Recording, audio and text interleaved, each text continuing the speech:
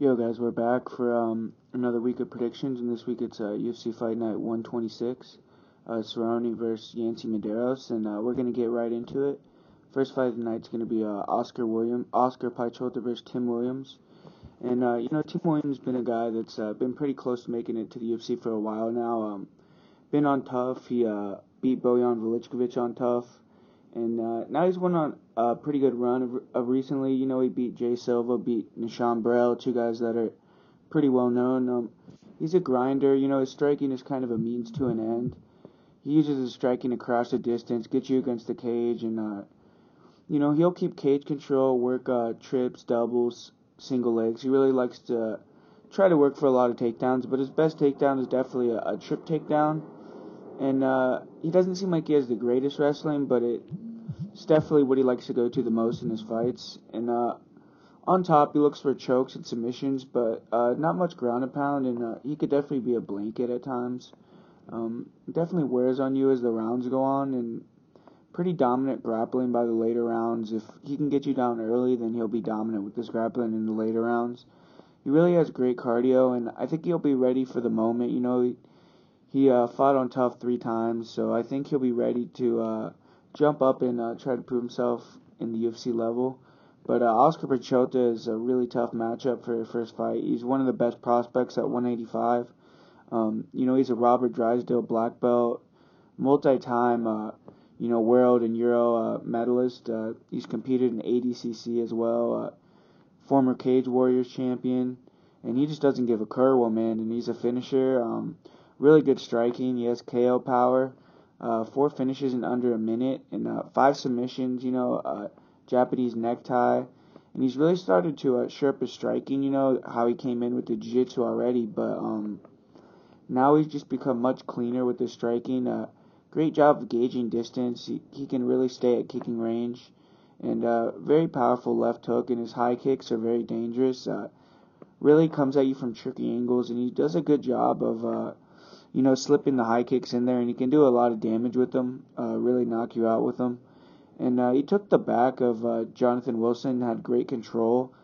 And uh, I just think this is a great matchup just to the fact that um, he's much better than Tim Williams on the ground. And uh, on the feet, he's already better. And Tim Williams' best thing to do is take the fight to the ground. So it's kind of nullified in this matchup. And I don't think that Tim Williams' striking is on the level to be able to uh, say like fuck it and stand with Piechota. So he's really um I struggle to find ways that he's gonna win this fight, but um you know I think uh Williams is gonna try to crowd him, try to do what he does, and I think uh Piechota is gonna be uh, timing him the entries. He's gonna be trying to um you know catch him coming in. I think he's gonna catch him clean with a with the right hand and uh, drop him, knock him out, or I think he's gonna catch him with the left hook and drop him and submit him and, or uh, TKO him, one or the other. And, uh, you know, Tim Williams has been TKO'd three times, and uh, Diego Lima submitted him, uh, Anthony Smith submitted him. So I definitely think that Piechota is the better fighter here, and I'm going to go with him by um, KO in round one. And that's one of my most confident picks of the night there. And then uh, up next, you have a fight with uh, Brandon Davis, who's coming back. Relatively quickly after that loss to um, Kyle Bochniak, and he's coming to fight another guy that fought in the um, contender series, Steven Peterson.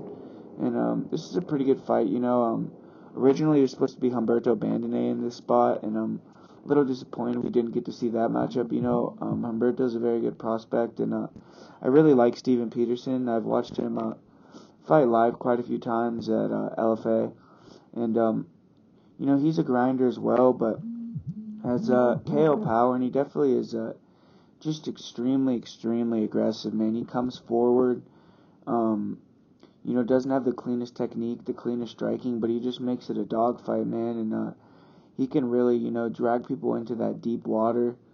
And um, you know, I think that uh, he just really likes likes to fight, man. He's good with his, uh, you know, pushing people against the cage, working with shots. Uh, great cardio. Um, he kind of likes to uh, uh, try to take you down with doubles and single legs against the cage, and he's busy on top looking for submissions and uh, heavy ground and pound. Uh, definitely likes to take the back and also has a really slick guillotine as well. So his submission game's on point. And uh, off his back, he'll attack with subs, you know, omoplatas, kimuras, guillotines. Very active off of his back. And, um, you know, he's pretty good on the feet. He's not like terrible on the feet. He's just sloppy. You know, he's someone that'll take shots to give shots, someone that likes to come in, um, you know, really make you feel him coming in. Uh, and uh, he has some power. You know, he got a TKO against Dustin Winter in his last fight. And he's someone that'll never give up, man. That guy's never going to back off. He's never going to give an inch, man. He really kind of reminds me of a Jason Knight type guy, you know? Except I think he maybe has a bit better um, overall game than Jason Knight.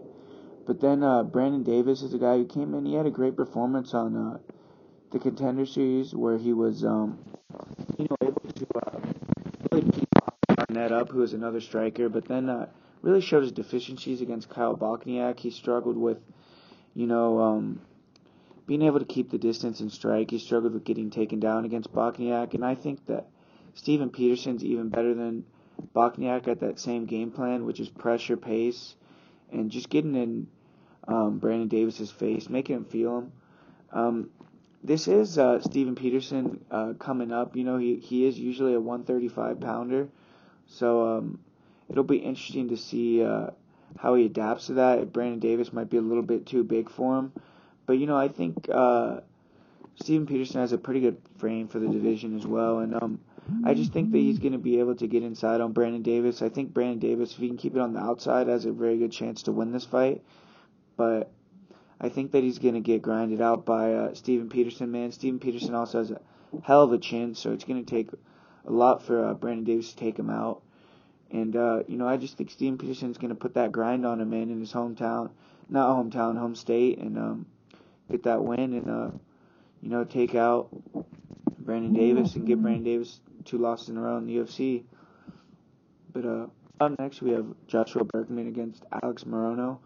And, um, you know, they're bringing back Joshua Burkman again. Um, not really sure how many more fights they're going to give him. You know, he's lost, uh, I think, six of his last seven fights and then uh, also has that no contest where he lost to Hector Lombard as well. So he's really on a very, very, very um, bad run here. And his one win was against uh, KJ Noons, who retired uh, promptly after that fight. So really doesn't have, um, you know, very good momentum coming in this fight. And he was knocked out really viciously in his last fight against Drew Dober. He's been talking about retirement on and off, you know and uh, I'm just not really sure if he's into it. He's gotten really rocked twice early in his last two fights against Michel Prazeres. Really got rocked, taken down, submitted early against Drew Dober. Got knocked out really before the fight even got a chance to get going, you know. And uh, really don't like the directions he's going. But you know, Josh Burkman in the past was a guy that was very well rounded, had good striking, good kicks, uh, very fluid, and uh, you know, good grappling as well, good takedown defense, good takedowns, could get submissions on you, um, could get TKOs as well. But you know, he just hasn't been that guy. You know, since he's uh, returned to the UFC um, from WSOF, and he's 37 years old now. And uh, Alex Morono has actually been, um, you know, pretty impressive in his fights. You know, he had a fight against Niko Price, who's a pretty good guy at 170, and he really dominated the first round with his striking. He kind of has a uh, karate background and um, really was using good feints, good uh, movement, and uh, just really catching Niko Price. Dropped him a couple times. He uh, beat uh, Kyle Noke as well, beat James Moontasri. And uh, in his last fight, he had a very close contest against Keita Nakamura, in which I thought he won. But the fight was in uh, Japan, you know, so obviously um, Nakamura is going to be favored there in any close contest. But you know, um, Morono definitely um, is pretty good, man. He pumps his jab out there, has very good kicks, a very nice overhand right, and uh, he can uh, work well moving forward and going backwards. Uh, really likes to bomb that right hand. You know, really likes to attack with the right hand. And uh, you know, I just think that he's gonna catch Josh Burkman and knock him out early again, man. I just really don't know why um, Josh Burkman continues to fight here. He's has nothing to prove, but um, so I'm gonna go with Alex Morono to get the win here, keep the train rolling for um, the Texas natives, and um, you know, hopefully um, Joshua Burkman decides to hang him up after this. But uh, up next, we have a fight uh, Sarah Moras against uh, Lucie Pudilova. And, you know, um, this isn't the greatest fight, but it should be uh, pretty entertaining because both these girls come to fight. You know, Sarah Moras, very aggressive. Uh, she returned after two years off and uh, had a pretty good win against Ashley Evans Smith. Uh, first round armbar. Uh, she actually almost broke Ashley Smith's arm, you know, and she's very comfortable and at home in the cage. Uh, and she starts right away. There's no, uh, you know, feeling out process. Uh, she's never, you know, scared to engage, never tight. Um, immediately likes to get in the clinch, uh, throw one twos. Has pretty good level changes, and uh, but sometimes she get overpowered in her entries, and she'll get taken down herself. But off her back, she's very good. You know, she's uh, very dexterous with her legs, and um, she's able to uh, put people in dangerous positions with arm bars and uh, in her guard. Uh, she has no problem with uh, attacking with strikes off her back as well, with attack with elbows. Um, she actually beat uh, Alexis Dufresne um, off of her back basically in her fight, and uh, she's tough, man. She definitely won't quit. Uh, she took a beating against Jessica Andrade, um, was bloodied up, and then at the end of the fight, man, she almost locked in a rear naked choke in the final seconds. And, um, you know, um, so she's definitely a beast, man. She's never going to give up. And, uh, solid cardio. She'll push through being tired. Uh, her striking definitely needs work, but she isn't afraid to, uh, get hit and throw down. Um, she is a bit wide with her shots. Isn't the fastest with her hand speed as well. And, you know, she definitely needs help in that, um, uh, category. But, uh, Lucie Pudilova is a striker. Um, she also loves to fight, you know, comes in uh, very willing to engage. Uh, but she likes to use movement, stay long with straight punches. A uh, very nice jab, and she does a great job of uh, slipping punches, returning with counters. But she doesn't seem to have the biggest power. She has good volume, and she could definitely cut you up. She has pretty good elbows as well. Um, she struggles getting clinched and held against the cage. Um, she's too easy to get a hold of, you know, and put in the clinch. I think she needs to work on her footwork a bit and uh, we had to see much of her jiu-jitsu game, and she's never, she hasn't fought nearly as good a competition as Moras has. You know, she's um, been fighting uh, lower level women, and uh, I think Moras just needs to use her physicality in this fight, close the distance, look for takedowns, clinch control, and I think she'll just be able to uh, just dominate Lucie Pudilova, make her just be in positions that she doesn't want to be in, take her down. Pudilova might get back up. Pudilova will have her moments in this fight, but I think Sarah Moras overall will uh, be able to uh, get the decision with uh, her grappling. Then up next we have a really fun fight, a fight that I like a lot. You know, Joby Sanchez against Roberto Sanchez, and um, Joby Sanchez actually is uh, coming back to the UFC after uh, two consecutive wins on the Dana White Contender Series. Uh, he's a well-rounded fighter, good striking. He boxes well, digs to the body with hooks, fast hands, solid boxing but he can get hit in the pocket, and he has a questionable chin. So uh, he definitely doesn't want to get hit here because he's definitely gotten hit, and I've seen him go down multiple times. He has good takedowns against the fence and in space. Does a great job of scrambling, getting out of submissions. He can be winning the fight the whole time and get rocked and finished, like I said. You know, definitely needs to worry about that chin. And uh, great cardio, and he's become more aware of his chin. Uh, so he likes to get in the clinch quicker, uh, start to grind more than trying to box, and uh, he'll be hungry to get a win. You know, obviously wants to be in the UFC. He uh, fought twice on the Dana White Contender Series. Um, Roberto Sanchez is a great grappler, you know, good submission artist, but he's still very green on the feet. He bites down his mouthpiece, walks forward, uh, throws hard straight punches, but he stands tall. He can get hit, he can get clipped and dropped. Uh, he, that happened to him against um, Joseph Morales. He got clipped and dropped and sub- submitted. Uh, he has a nice single leg, um, but I just don't think he's better than Joby Sanchez in any area other than, um, you know, jiu-jitsu. And I think Joby is good enough to be able to uh, get out of those positions. And I think Joby's going to be able to grind him out here. I think Joby will be uh, able to outbox him on the feet, take him down, uh, just kind of be a up down shoot box type of style. And uh, I think that uh, Roberto Sanchez is a bit too willing to go to his back here at the UFC level. That's not the best idea. So I just think Joby Sanchez is going to come in. He's going to have a lot of momentum here. Um, you know, a lot of want. I think he really wants to be in the UFC, wants to stay in the UFC. And um, I'm going to give it to Joby Sanchez here to come back and get a win in his second stint here in the UFC. And uh, up next, we have two other another guy that's off the uh, Dana White Contender Series, Geoff Neal, and he's fighting Bryan Camozzi. And uh, Neal is solid, well-rounded fighter. Um, fast straight punch combinations, good power. He likes to uh, move forward, put pressure on you, uh, throw strikes and grind you against the cage. Solid control against the cage, throws knees and elbows from the clinch. He can hit uh, explosive double leg slams and uh, has a solid single leg as well. On top, he has heavy ground and pound, and I think he'll have a major speed advantage versus Camozzi. His reach is almost as long as Camozzi as well, which, you know, it's Camozzi's biggest advantage in most of his fights. He has a solid chin, and uh, I watched him. He took a lot of shots in a good fight against Kevin Holland, who's a uh, pretty solid 185 outside of the UFC. And I thought it was actually a bad stoppage, the TKO. And um, he won twice in 14 days in his last uh, two fights, so definitely he's been pretty active.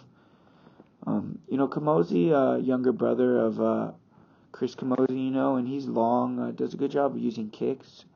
Uh, nice straight front kick to the body, throws a lot of leg kicks. But he's definitely a little bit slow with his hands, struggles to find his range and connect, and uh, struggles to, to defend straight punches. And uh, he has a decent check left hook does a good job of pressuring, cutting off the cage, and his hands have some pop on him for sure. You know, he does have, um, you know, some power that'll definitely get your attention. I don't know about KO power. And uh, on the ground, he has a pretty good ground game. He attack with subs, you know, the arm bar, but he can be taken down. Seems like he has great cardio. He works at elevation, but Neal has good cardio as well.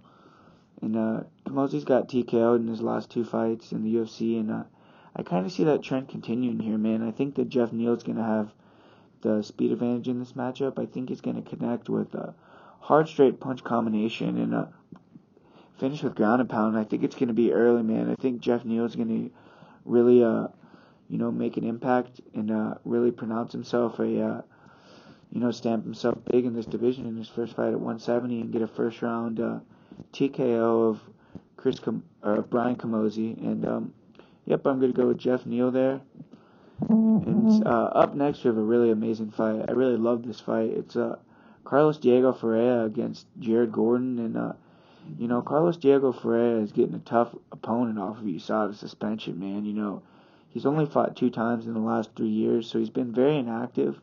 But, you know, you can't sleep on him, man. Very dangerous fighter. Third degree black belt in Jiu Jitsu amazing off of his back, man, and on top. You know, his jiu-jitsu game is just extremely dangerous. Very good legs, you know, goes full guard and uh, gets sweeps. He likes to uh, take the back, attack with rear naked chokes, attacks with leg locks.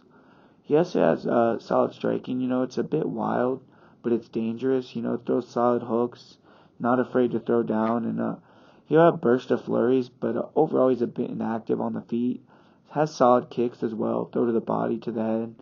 Um, his cardio is good, and you know he has some wins over uh, good competition. His last win was against uh, OAB, um, Olivier Aubin-Mercier. Um, he has a great fight with Beneil Dariush, where uh, it was pretty back and forth. He just got out hustled on the feet. And uh, Gordon is a wrestler, you know, grinding wrestler, incredible pressure. He'll walk through punches. He throws straight and short hooks. Uh, likes to close the distance, get inside. He likes to land his hands, uh, clinch and wrestle. You know that's his game. And uh, he'll probably want to keep this fight standing. I don't think he wants to deal with that jiu-jitsu at all.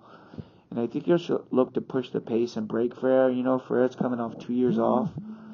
And uh, Gordon's definitely a bad matchup for someone coming off a long layoff. He'll definitely test your cardio and um, make you fight, man. And I think he has a great chin. And uh, Diego just has one TKO against a very chinny um, Ramsey Nijem. So I think he's going to struggle to keep Gordon off him with the shots. And I think Gordon's going to walk through a lot of Diego's punches. And I think he's going to break Diego with forward pressure. I think he'll control the fight on the feet. I think he'll control, you know, um, the direction of the fight. I think he's going to control um, the setups as well. You know, I think he's definitely going to be someone that will just control the pace too. And I think that uh, he's going to get a late finish here against Carlos Ferreira, but I could also see him getting a decision. And this is a close fight, man. If he does uh, play it stupid, doesn't have a good game plan, and uh, decides to test his grappling with Carlos Diego Ferreira, he could definitely get caught here. And, uh, you know, he can also get caught coming in, man. He's someone that, you know, walks through punches, walks forward, and uh, that definitely always gives him that, you know, opportunity to get KO'd. But I just don't see it here. I see him breaking Carlos Diego Ferreira, you know, off that long layoff. And I'm going to go with um, Jared Gordon to get the victory in that one. And uh, up next we have uh, uh, Super Sage Northcutt against uh, Thibault Gouti, and um, you know this is a very interesting fight, very good fight for the progression of Sage's career. And you know we uh, saw Sage coming in the UFC as a teenager, you know, so we had to watch his struggles, his growth live in color. You know now he's working with Team Alpha Male, full time in MMA, not in school anymore. And you know the guy's an incredible athlete. You know that's just something that you can't sleep on because we don't have that many of those type of athletes in MMA. Blistering speed, uh, great dexterity and combinations with his kicks, and uh, his front leg is very good. You know, he's kind of like Stephen Wonderboy Thompson in that essence with the front leg, and uh, hit you with body kicks, hit you with head kicks. In his latest fight, he had extreme confidence. Uh, walking down uh, Michel Quinones, he was bringing heavy pressure, really fast jab, and I think people are amazed at uh, Sage Northcutt's speed when they get in there with him, at least for a little bit, because a lot of people start slow against him. And he's still very much developing as a fighter. You know, we've yet to see him get hit hard and handle that well. He seems to panic a lot. And, uh, you know, against Mickey Gall, he seemed like he panicked, got submitted in that one. But he does have explosive takedowns as well. Um, you know, he can get double legs on top and has pretty good ground and pound. And I think on top, he's actually pretty good. It's on bottom that you have to worry about with him. You know, he got tapped out by Barberena in a choke that wasn't even completely locked in. He struggled against Cody Pfister off of his back, and um, but the UFC UFC's given him a good guy to grow a bit here. I think you know Thibault Gouti is also a striker. He can grapple a little bit as well. You know, he has some very fundamental striking, good power in his hooks, and uh, but he comes forward with his chin up, and he's way too aggressive with that defense, and uh, been finished multiple times in his UFC career and very fast as well. But he has had a few good showings. You know, he had a pretty good um, showing in the loss to uh, you know um, Mercy OAB o- Olivier Aubin-Mercier and um, was competitive against David Teymur as well.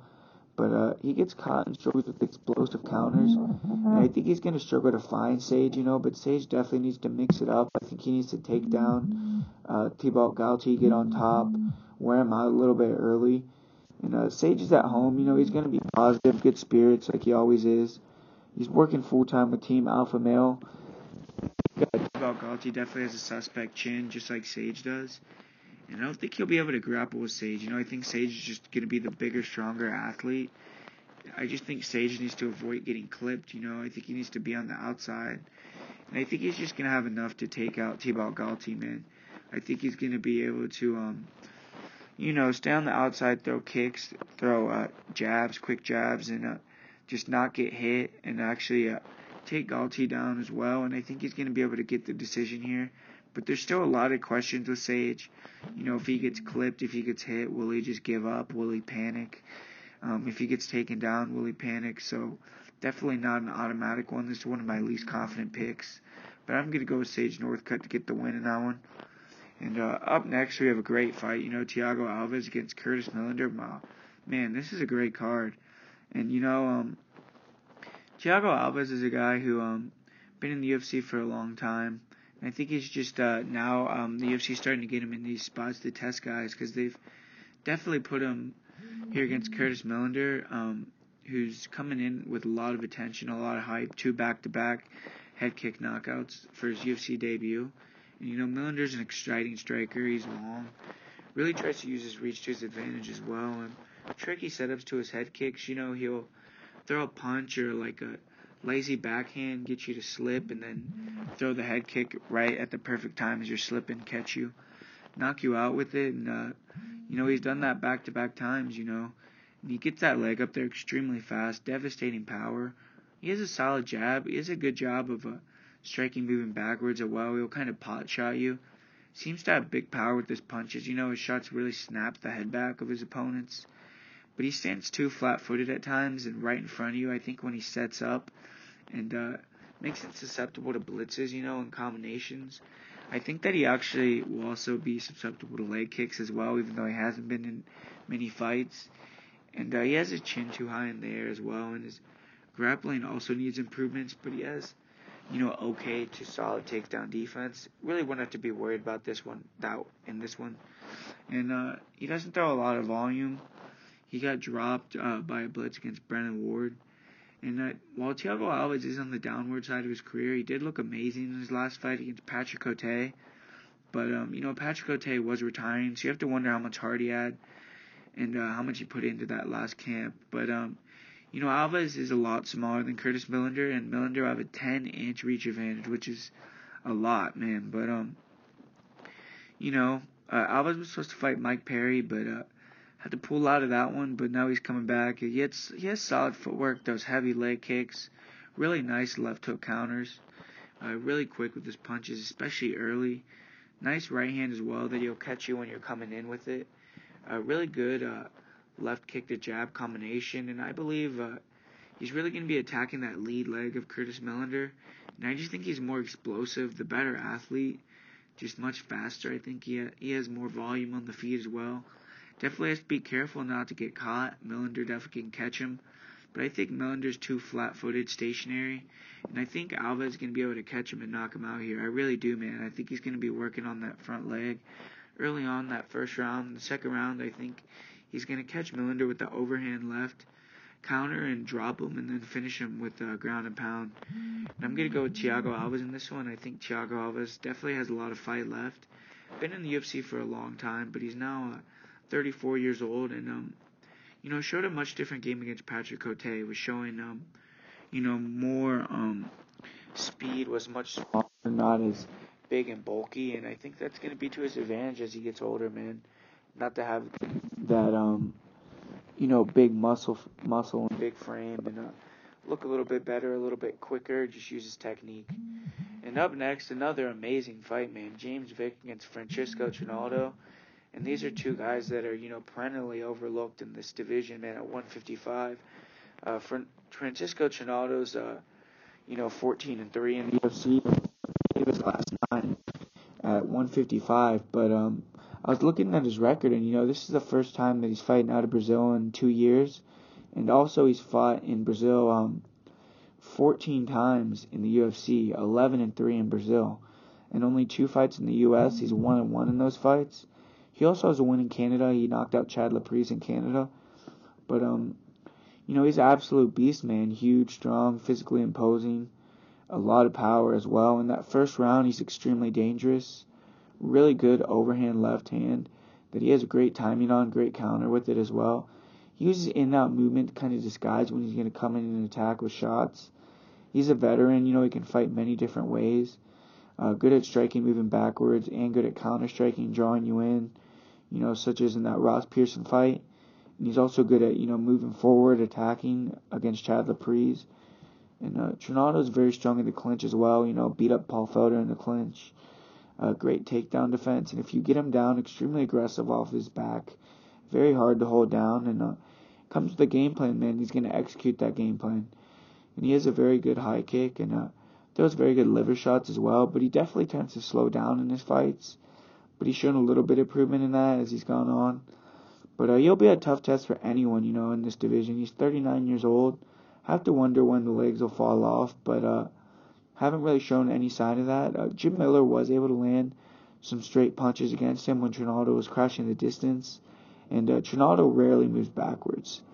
And uh, you know, James Vick is tall, long, likes to stay behind a snappy jab, throws nice combinations, you know, three, four punch combinations in the pocket he likes to, uh, you know, find his distance and start to catch you on the end of his punches. He'll throw nice leg kicks as well, kicks to the body, you know, kind of teeps to the body, front kicks. Very nice flying knee. He has a great chin as well, bite down on the mouthpiece and throw in that pocket.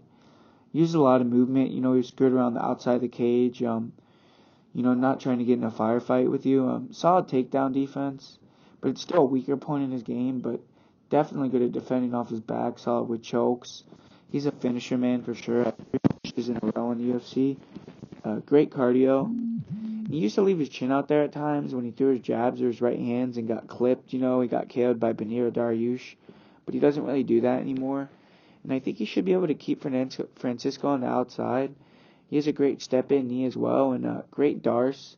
You know, Trinaldo has struggled with grapplers in his career. You know, four of his five losses in the UFC are against uh, Kevin Lee, Peter Hallman, Gleison Tibau, and Michael Chiesa, who are all grapplers. But, you know, I kind of see um, uh, James Vick being able to stay on the outside and piece him up and actually rock Trinaldo and make it a very similar scenario to what happened against Kevin Lee, where Trinaldo panic shoots, and I think that James Vick's going to get a Darce here. I really think it's a big deal that this fight's not in Brazil. You know, a 39 year old coming all the way to the U.S., traveling, when he's very much used to fighting in Brazil. He's fought something like six times in a row there. I think that's going to be a big factor, you know, and I just think that James Vick has to be very careful not to get clipped with that overhand left. And if that doesn't happen, he's going to have this fight, man. I think that he has the better cardio than Trinaldo as well, and I think that Trinaldo's going to slow down. Vick's going to find his timing, find his groove, man, and really start to put it on um, uh, Francisco Trinaldo and just uh, put a finish to him. And I think he's going to finish him in that third round. And uh, I'm sorry, guys. I actually missed a fight, so I'm going to go back to it right now. And I can't believe I missed this, man, because or uh, overlooked it, because this is one of my favorite female fighters uh, of all time, man. I really love this girl, Olivia Souza, man. She's just a fucking G, dude.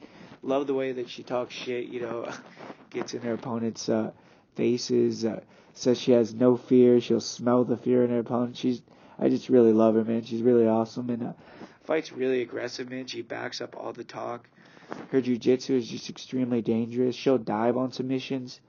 In the clinch, she tries to get standing guillotines. Uh, she'll pull you down to her world, you know. Um, doesn't care about being on her back. Uh, pulls guard. Uh, likes to attack with leg locks off bottom.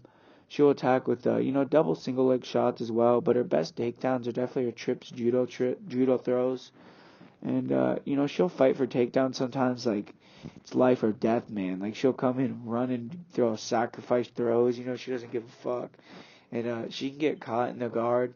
You know Angela Hill was able to uh, get on top and um, stay in her guard, and um, you know, uh, just she wasn't able to, or she wasn't able to get out of Angela Hill's guard. I'm sorry, you know, and, but she was active body head, and um, she'll welcome you know people to come on top of her, and uh, she throws looping strikes on on her feet, has a really uh, you know, kind of looping hook style, but she does have a straight right hand and uh, very little head up setups. You know, everything is full power solid kick. She needs to get inside to be effective. You know, she'll bite down on the mouthpiece and, uh, you know, throw down. Uh, when you come in aggressively, she definitely um, doesn't care. You know, she likes to fight that way.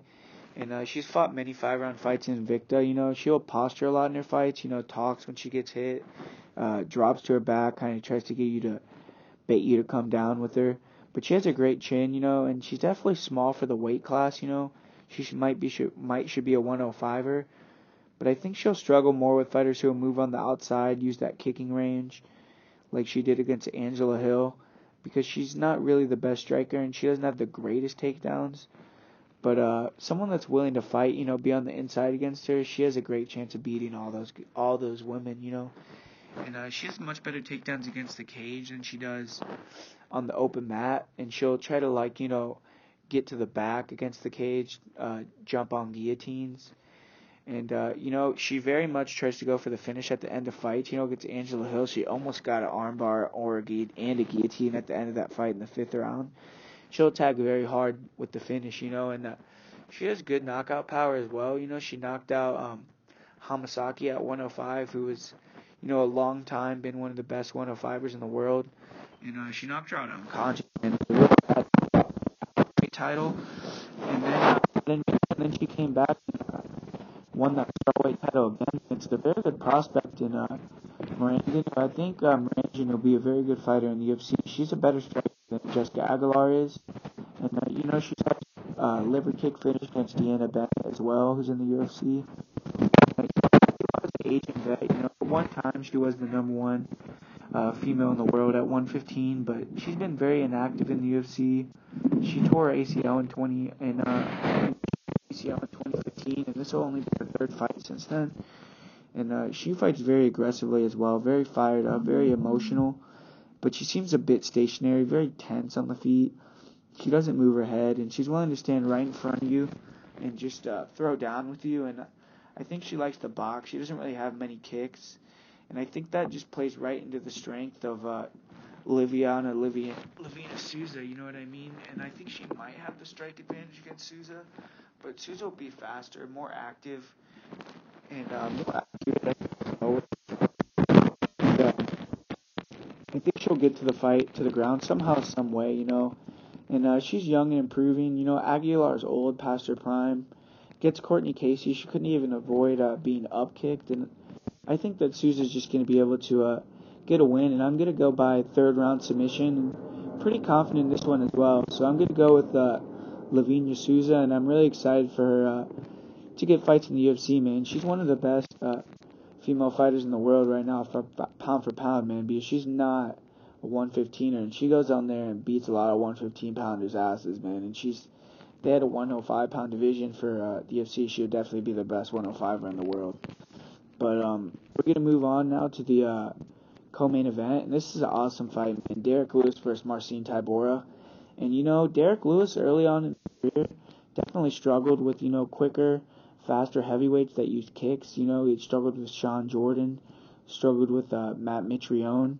But you know, I think that he's definitely gotten a lot better since then. You know, that Shawn Jordan fight was all the way back in uh, June 2015, so almost two and a half years ago. And he's been extremely active. You know, one of the most active guys in the UFC. You know, he joined the UFC in um, 2014, and since 2014, he's fought, you know, quite a few times. I think he's fought um, at least more than 10 times, and uh, especially for a heavyweight that's extremely active.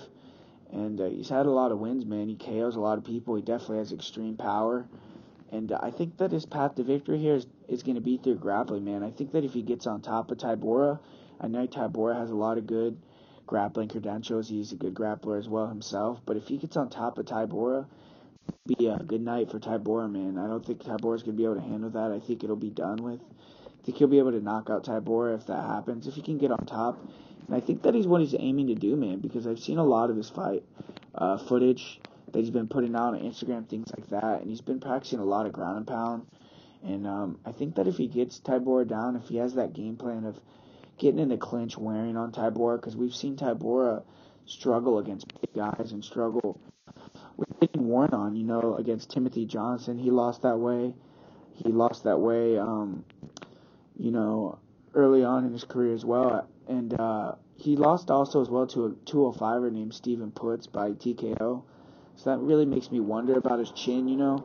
So I think if it gets tested, I think Derrick Lewis could really put him out. But he did have a really decent fight in his last fight against Fabricio Werdum. But Werdum isn't, isn't nearly the same athlete as Derrick Lewis is. I think Derrick Lewis is much faster at closing that distance, much more explosive, and has more explosive power. And, uh, you know, Derrick Lewis was injured in his last fight. I know that for a fact. I know a lot of people like to uh, question that, but, you know, I know for a fact that he was injured and he's been dealing with that back problem for a while. And um, you know, I from all accounts, from all accounts, it's much better now. And um, I think that he's gonna put it on Tybura, man. I know Tybura is kind of, you know, the trendy pick here. I think a lot of people are falling in love with uh, his knockouts by head kick. But you know, we've seen what he did against Andrei Arlovski. You know, very boring decision, very tentative, very scared to get hit. And against Werdum as well, you know, another very tentative performance. And I think that against Derrick Lewis, those are the guys that he eats up, man. Against Derrick Lewis, you need to either really engage in taking him down, wearing him out like Roy Nelson did, even though Roy Nelson um, didn't get the victory there, or you know just have a much a much uh, you know stronger striking advantage like Mark Hunt, which Tybura I just don't believe has that. He's not even close to the credentialed striker of Mark Hunt. He's a very very more explosive athlete than Derrick Lewis is, which I don't think that Tybura is. You know, Shawn Jordan's a guy that did backflips at, at 265 that um, played fullback at LSU. You know, Matt Mitrione is also a former football player who's extremely fast, extremely athletic. While Tybura is athletic as well, I don't think he's quite athletic as Derrick Lewis or quite as fast. And I just think Derrick Lewis at some point, man, is going to get him on the ground and finish him. So I'm going to go with Derrick Lewis to get a win in his uh, home state by second round ground and pound TKO. And I think that he's going to call out uh, Francis, and I would really want to see that fight, man. I would really be interested in that fight. And